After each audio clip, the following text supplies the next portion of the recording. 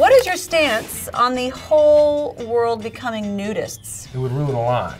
It would take so much away from mystery, the, mystery, the imagination. And also, let's face it, in many parts of the world, it's freezing.